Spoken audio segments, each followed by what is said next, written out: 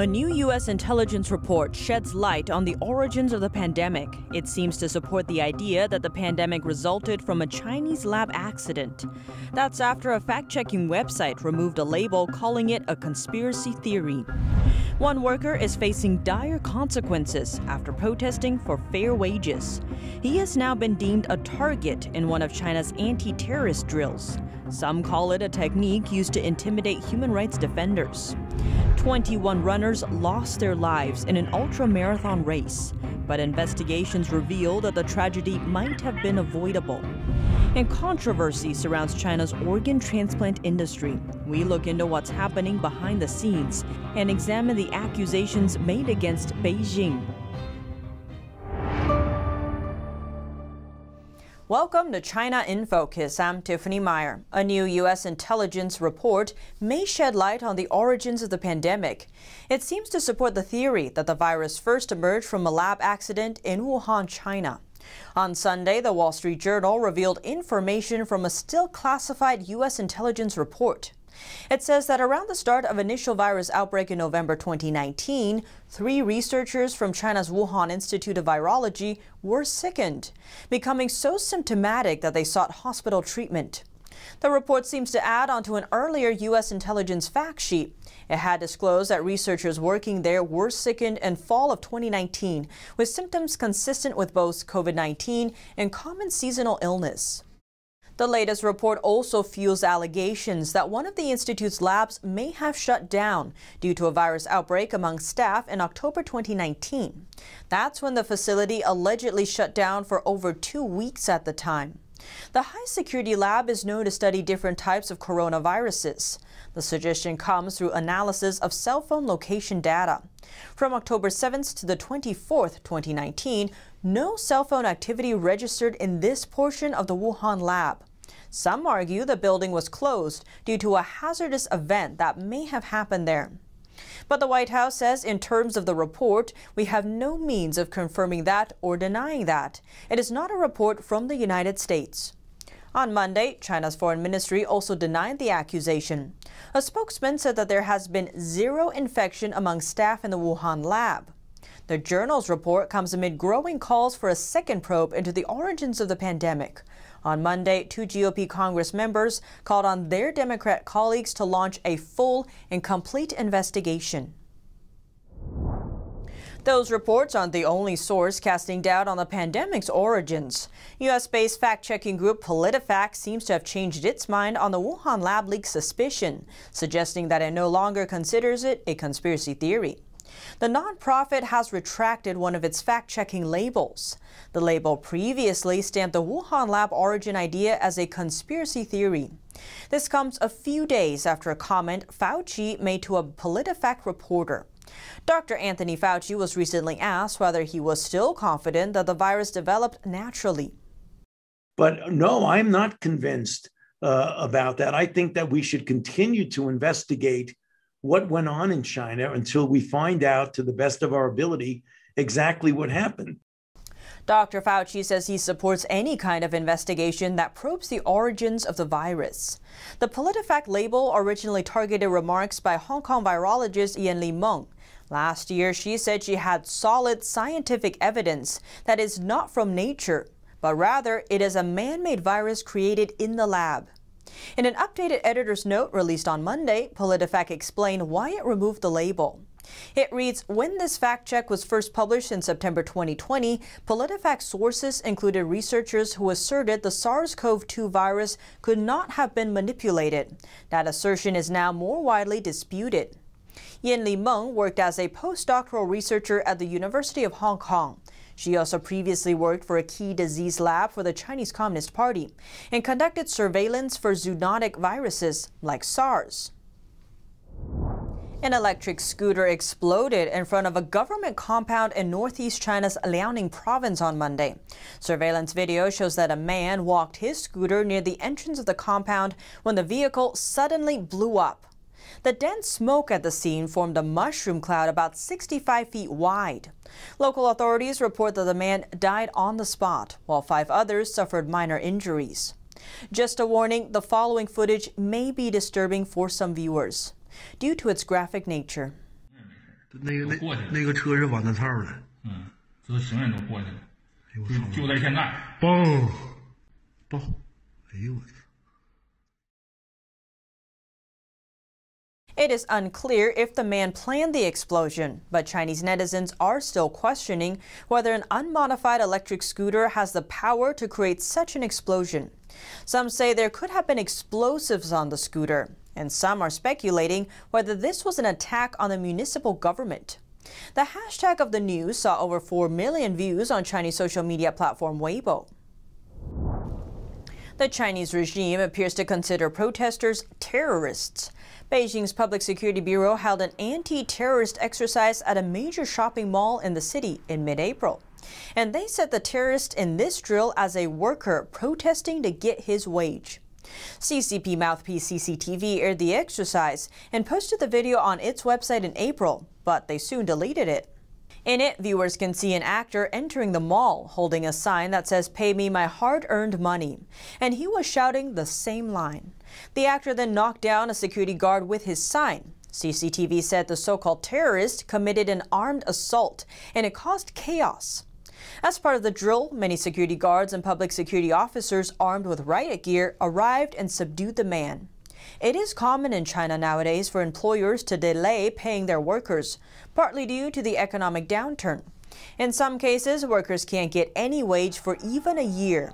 That's why many workers have protested to demand their wage. And Chinese riot police often respond to such protests. Chinese netizens say setting a protester as a terrorist is unique to China. Many suspect that the so called drill was to intimidate Chinese rights defenders and activists.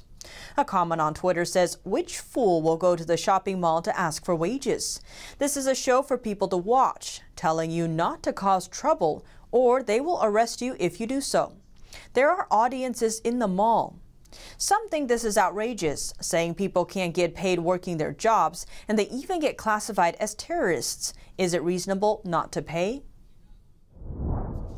More details about China's deadly ultra marathon race are beginning to emerge. According to U.S. media Radio Free Asia or RFA, official corruption may have had something to do with the tragedy. Extreme weather conditions hit during the race on Saturday, and 21 professional runners lost their lives due to a lack of resupply and assistance. Authorities blame the weather, but a source reveals to RFA that up to 30% of the race's income had to go to the local official in charge as kickbacks. The source says there is no public bidding for this year's race. Rather, the local Chinese Communist regime propaganda department directly appointed a man named Wu Xiyuan to organize the race. Wu runs a company with only 20 employees, yet he somehow manages to operate almost all marathons in a local city. The source says on top of the 30% kickback, Wu has to pay at least 5,000 US dollars to the local official in charge in the name of instruction and certification. Ms. Wang from the China Mountaineering Association tells RFA that such an event will need at least a 500 person support team, but Wu had only nine people. And each resupply point is over six miles away from each other. That is extremely dangerous for runners. Wang also says it is common in China for organizers of similar events to cut manpower and basic supplies. That's because they need to pay kickbacks.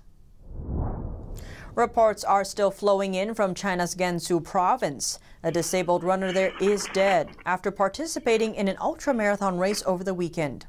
Huang Guanjun was a Paralympic Games champion, winning the men's hearing impaired marathon in 2019. But despite his success, he was known to keep his aspirations humble. Chinese media report that according to his friend, Huang came from a poor family, often using his competition winnings to support his parents and keeping little for himself. For every race he won, competition prize money meant earning several hundred dollars to help them. Huang was one of more than 20 competitors who were killed in the ultra marathon. The extensive race turned deadly when temperatures in the region plummeted and harsh winter weather set in. A group of five runners were among the lucky ones, saved by local shepherd Zhu Keming. Zhu first realized something was wrong when he heard cries for help nearby his cave shelter. He soon discovered the athletes, immediately bringing them to shelter inside and lighting a fire. The shepherd later explained that this kind of weather is common. Another marathon runner survived thanks to an unusual method that kept him alert. As the severe weather conditions set in, runner Wang Jingming was soon chilled to the bone. He said he tried everything to keep himself awake, fighting the cold while waiting for rescuers. He explained he began to lose consciousness as temperatures plunged. At first, he used his dwindling strength to pinch himself, an effort to keep himself clear headed. But soon he could no longer feel his arms and legs. By then, he started to bite his tongue and his lips, later recalling that the pain kept him alert and reminded him that he had to survive in order to see his family again. He was rescued sometime later. Event organizers first realized something had gone horribly wrong just three hours after the race began. That's when the race's WeChat social media group started flooding with messages, many containing cries for help. Like several people have lost consciousness and urgent help needed. Some survivors later described wind conditions as so strong they couldn't stand, while others reported their thermal blankets were shredded by the conditions. The Chinese regime is denying pension benefits to millions of Chinese workers. The regime says this is because these people quit their jobs and they don't qualify for pensions. But many of the victims also include prisoners of conscience who are forced to leave their job. The Chinese regime has been denying pension benefits to tens of millions of workers in recent years. Most of the workers have either quit, resigned, or been fired from their job, or they had to leave their post to spend time in jail.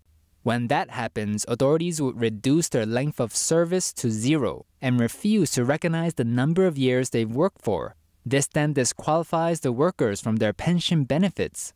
59 year old rights defender Wang Guoqi from Beijing is one of them.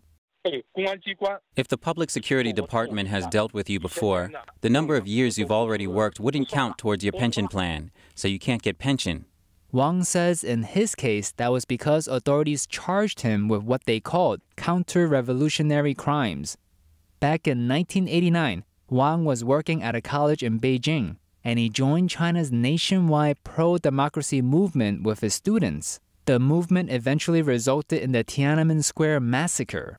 The Communist Party ordered troops to open fire on peaceful protesters in Beijing, killing thousands of them. Following the crackdown, the school fired Wang for his participation in the movement, and Wang had to spend a year behind bars. After his release, Wang helped establish a few pro democracy organizations in China, including the underground Liberal Democratic Party. The party aims to end the CCP's one party rule and to set up a democratic system. For that, the regime again arrested Wang. They sentenced him to 11 years in prison he only came out of jail in 2003. Sentencing people to jail already serves as one form of punishment. Why does the CCP have to punish people again? This makes no sense. Wang says the communist regime also seized his home in Beijing. Now he has no choice but to live on the streets, carrying only a blanket with him. Even worse, Wang is still struggling with multiple illnesses, including heart and brain diseases. He relies on his relatives and friends to buy him medicine. Wang says he received around $180 of low income relief per month last year, but that's far from enough. To make ends meet in Beijing, he needs at least over $450 a month.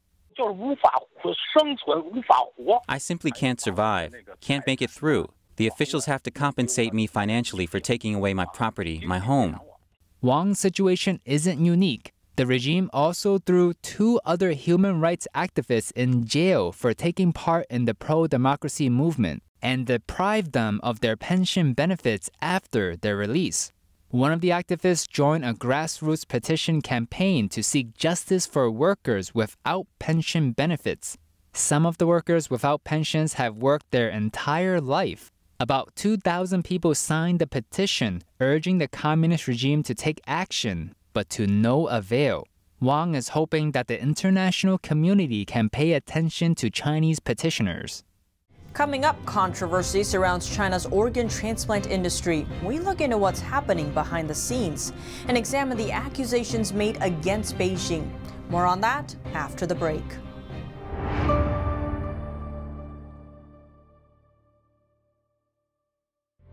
Trends may be fleeting, but values are timeless. We now bring you this new clothing brand with classic design and luxurious comfort. It's our way of sharing hope and inspiration from the world of Shenyun. We bring you Shenyun Dancer. Wear it with honor.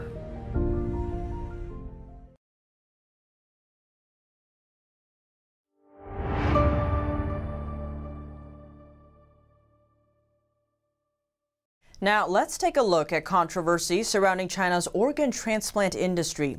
China is the world's second largest country for organ transplants.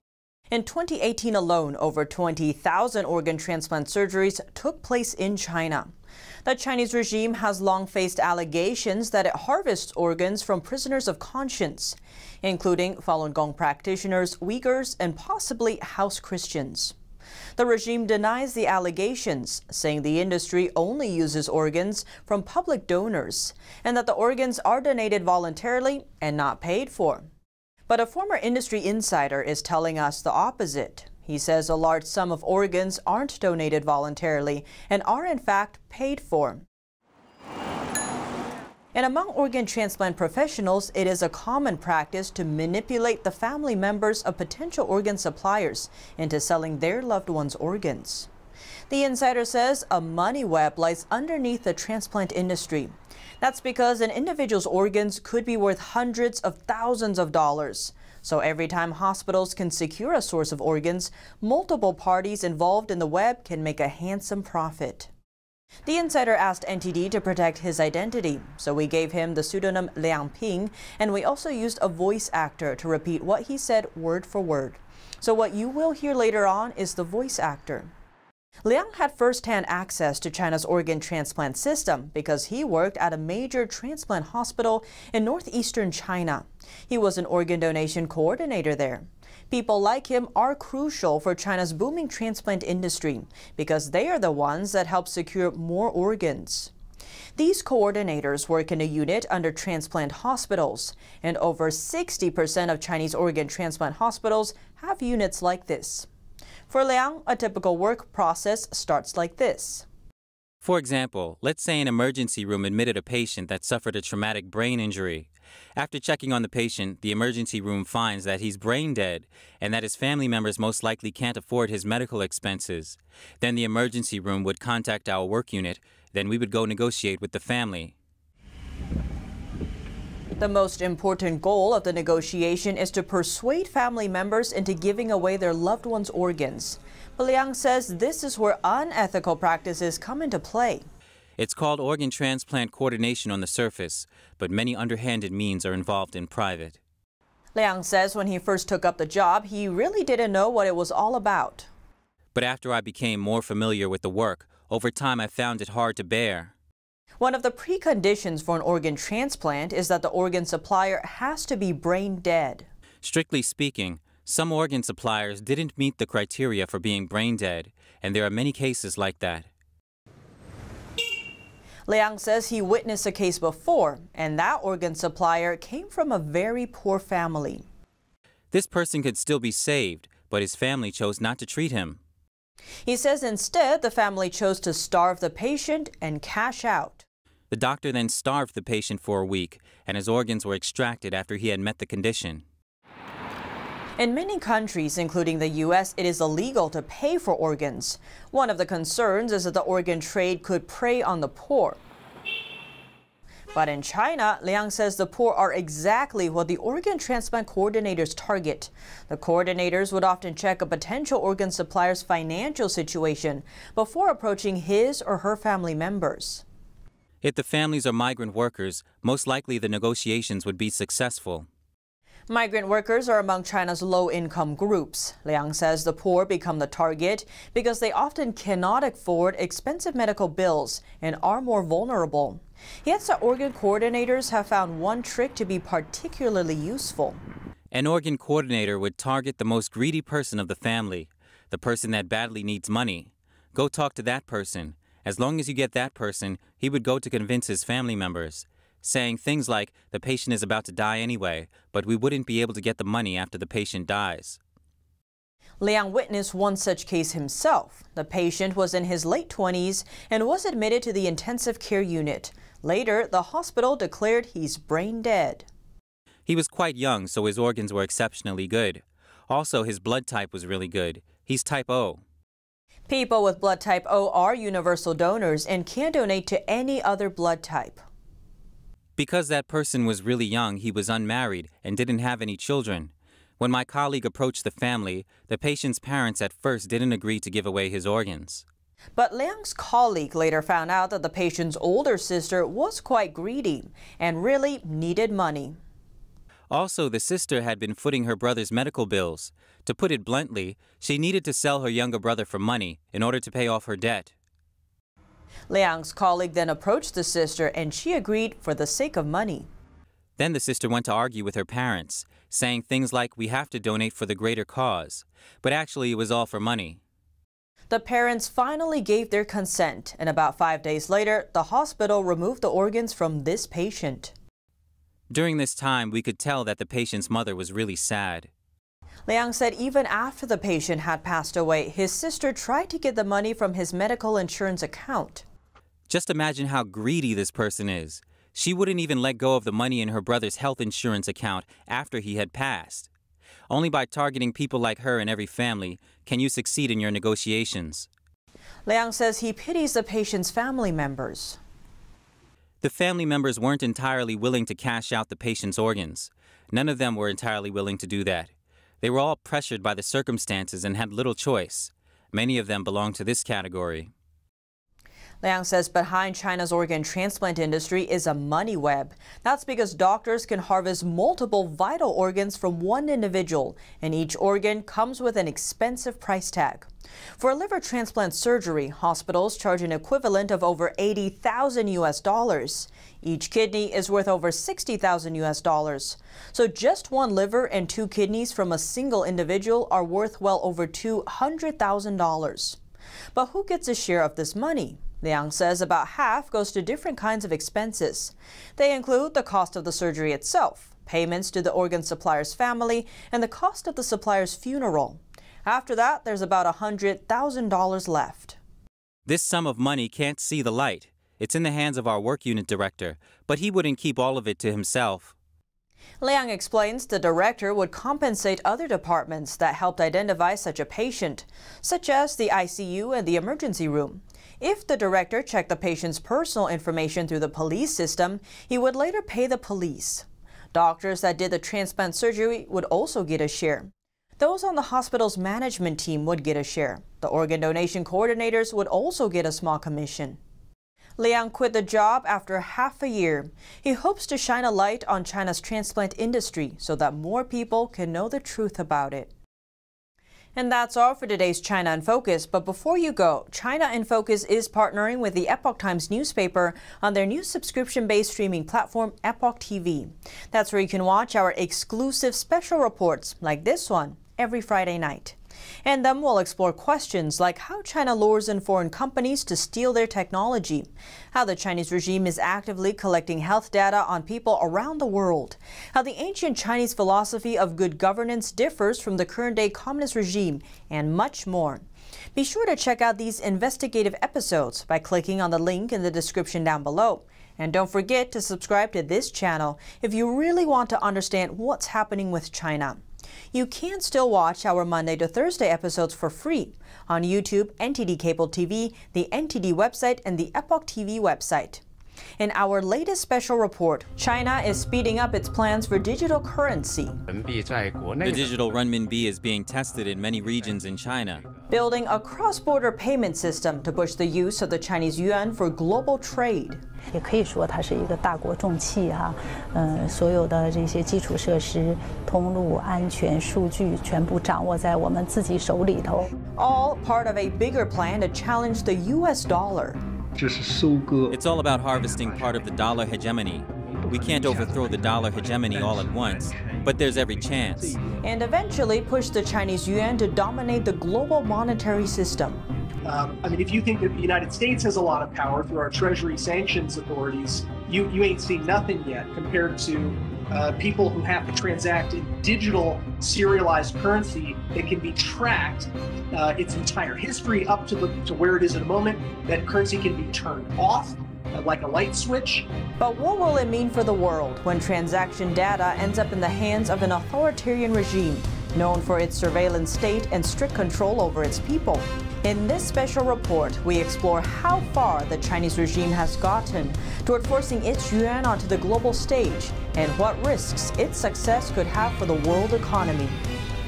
Be sure to check it out on Epoch TV. Thanks for watching and see you tomorrow.